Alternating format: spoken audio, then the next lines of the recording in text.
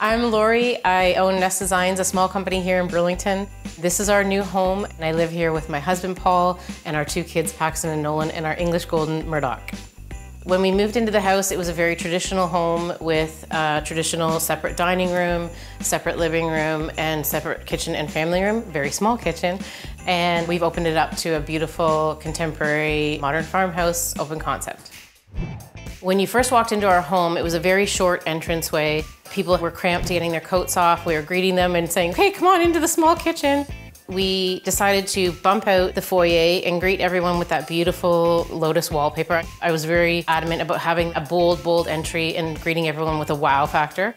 I tried to tone it down with the modern farmhouse console table with the wood elements. And then I really wanted to have sort of an architectural element. So we went with this beautiful, gorgeous arch when we decided to take down this wall, this was our structural wall, and we had some design concepts made. I always knew that I wanted natural beams incorporated into design, and we decided to go with this one. And then I worked with Benjamin Moore to come up with a custom stain. This raw pine was like a sponge, and so it absorbed every color. And so things were turning out black and blue and brown. And so it took us a long time to come up with the combination to get just the right subtle gray. Before, when it was traditional and it was its own entity, my husband will always joke by saying, we never sit in this furniture, we never sit in this room. Now that we have the gorgeous fireplace, I have to say, as soon as we're done drinks, before dinner, after dinner, we all congregate in this room. The bar, I have to say, is one of my favorite elements in the design. I love incorporating the old with the new. And it was very important for me to have a vintage piece somewhere in this design. Jason, who owns a store called Centro in Burlington, it's one of my favorite stores. That day that I was looking for specific dimensions for this little nook, Jason had posted that this was half price, this vintage cabinet.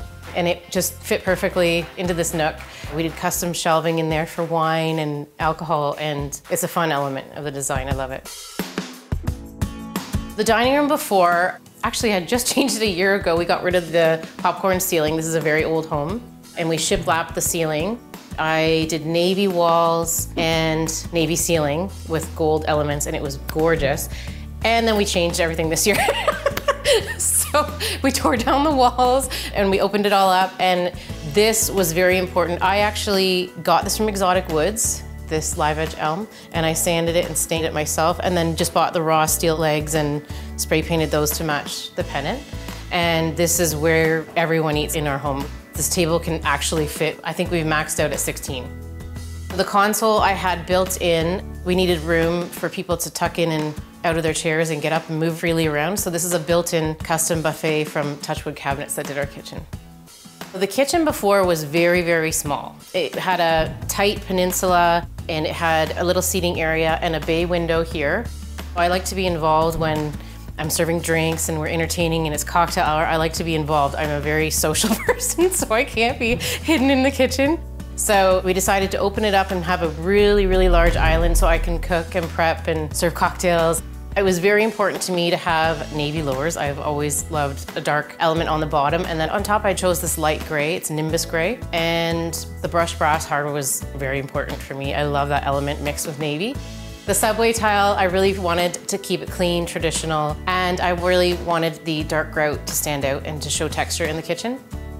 The pendants over the island were the biggest feature. I feel like they're the showstopper. And when I originally ordered the pendants, the outside was navy and the inside was gold. And when they arrived and the electricians opened it, it was Ronald McDonald gold.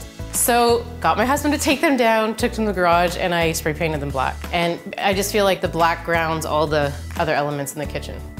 I chose open shelving. I love the look, I love the feel, and I feel like you have to have them properly styled to have them in your home. We got so much storage with our lowers. We have huge, massive drawers. They're deep, they can take dishes, the kids can empty the dishwasher. I just anchored the design with two uppers on this end and two uppers over the fridge, and we have a ton of storage. The more casual room in our home where you can find us most days and nights, especially the children, is our sunken family room. I reclad the beams in there a couple of years ago. We shiplapped over the popcorn ceiling and it is painted alabaster white Sherwin-Williams. I decided to carry the alabaster white all the way down the brick so that your eye just flows in one motion. And then we changed the mantle color. I sanded that mantle as well and got it from a piece of wood at our cottage. Our dog is always in there with us. That's a wood burning fireplace. So yeah, that's just our family hub. The powder room is one of my favorite elements again in this design. I have always loved herringbone. I chose to use the same subway tiles we used in the kitchen. I decided to go dramatic with a dark black grout. When you walk in, you're faced with the gold elements on the cabinetry, the gold light and the mirror, and then we have this fabulous herringbone with black grout facing you. It's sort of like a cave with a white backdrop. My Christmas decorating tends to change each year. For this year, I decided to go with natural palettes with blush and cream and black and green. I am a huge fan of bringing the natural elements indoors and I always use fresh greenery. I like to incorporate it on the mantle. Tablescaping is big for me. We have some natural elements everywhere. This year I chose the King Protea and the smaller Protea version. I love the color blush it added to our palette. I love the cream and I just think they're just such stunning flowers. Living through the reno, I have to say, people kept asking, why aren't you in a hotel? How are you living through this? We cooked in the basement, we lived in the basement, we lived up on the upper floor. I chose friends to work with. I know all the trades, I've worked with them on projects. For us, it wasn't really putting us out and it wasn't a drag. And because I'm the designer, it was so fun for me to watch something that I created come to life and to full fruition.